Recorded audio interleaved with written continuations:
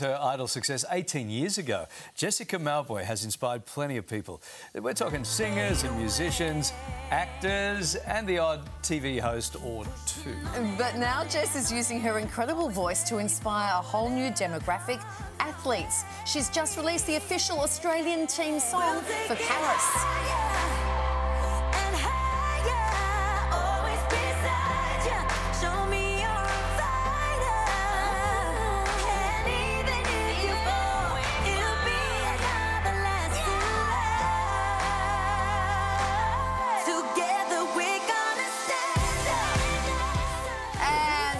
Jessica Mauboy joins us live. How exciting! it's you know it never gets old. I mean, this has kind of happened in the last month and very quickly. And I know that the song had been like in a demo audition for quite some time over the last two years, um, with the AOC, uh, with the producers, the writers Shannon Bush and um, and Stephen Mowat. So this is kind of really a huge surprise to me um, that they chose me to want to sing the song and lend my voice to them, and particularly for the, the Australian Olympic team, you know, just. I guess putting myself in their shoes, in the like their focus, their motivation, the time that it's taken them to become, um, yeah. you know, Olympic ready. Yeah. Could the writers' names be any more French? Bush and Mowat. Perfect. We should go out for lunch and, at Bush and Mowat.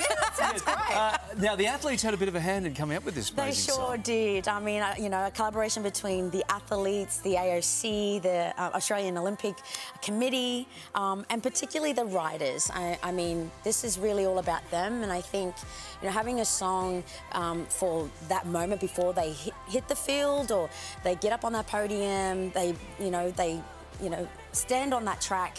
This is that moment that alone time where they gain that confidence and yeah. gain that knowingness that they've they've they've come to a point where they're ready. They're ready to do this. And so I, I really wanted to passionately put that emotion in that. And I remember sit, sitting in the studio going, having goosebumps going, oh, I can imagine. I can imagine them, that moment, that quietness before that storm, you know. So we've got the national anthem, which is the national anthem. Yes. So this song sort of becomes the unofficial anthem oh, for the Australian team. Very cool. And how are you going to inspire them? Well, you're going to go to Paris. I'm going to be and there. sing it for them. So yes. tell us what the plans. Um, so this is exciting. Mm. Um, again, like I said, this has happened all, all in the last month, and. Um, and I want to go over there. I want to perform it physically for them um, and give I don't know, that home, give that kind of sense of homeness for them. And so you um, sing it to them live. They, they all yes. assemble in one place, which actually is probably the first time they all come together anyway. Yeah. And you sing it at the at the flag bearing ceremony, yeah.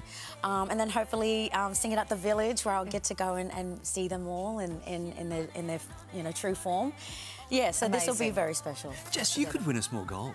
This could be such an inspiring song. Stop, I can't. You, you could be responsible for our greatest gold haul ever. Oh my gosh, honestly, I, that's that's what I wanted. I wanted to bring that motion alive physically and, and mentally too. It's it's all in the preparation. So the performance is going to be different for you for you because I know you, you do lots of different stuff in many different venues, but I'm so nervous. This is really, really important. This is a really important gig. Yeah, it is super important. It's like it's probably the most important moment for me, I think, you know, the representation of our country, of our athletes that are going over to to, to, win, you know. Um, this is this is big for all of us, yeah. So you're using your vocal cords. That, that's the muscle you're using. But if you were going to be an athlete, what what what sport would have Jessica Good Mauboy have question. represented Australia? If you had to choose one, what do you reckon you would have stood?